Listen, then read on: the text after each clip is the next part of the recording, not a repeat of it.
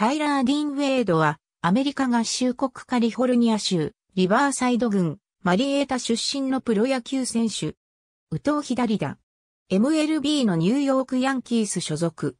2013年の MLB ドラフト4巡目で、ニューヨークヤンキースから指名され、プロ入り。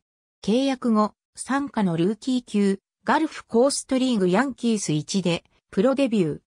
A- 級スタテンアイランドヤンキースでもプレーし、2球団合計で50試合に出場して打率。291、13打点、11盗塁を記録した。2014年は A 級チャールストンリバードックスでプレーし、129試合に出場して打率。272、1本塁打、51打点、22盗塁を記録した。2015年は A 級タンパヤンキースと AA 級トレントンサンダーでプレーし、2球団合計で127試合に出場して打率。262、3本塁打、31打点、33盗塁を記録した。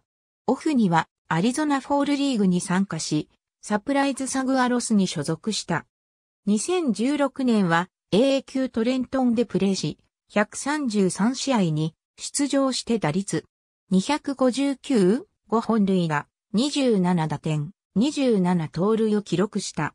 オフにはアリゾナフォールリーグに2年連続で参加し、スコッツデールスコーピオンズに所属した。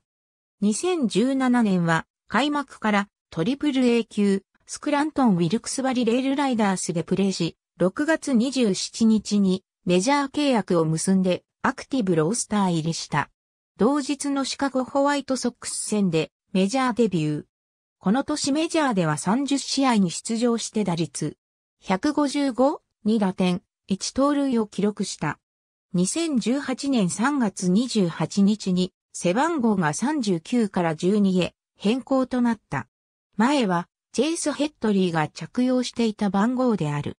2018年の最初の試合で二塁手のニール・ウォーカーの代打で出場するもゴロアウトになる。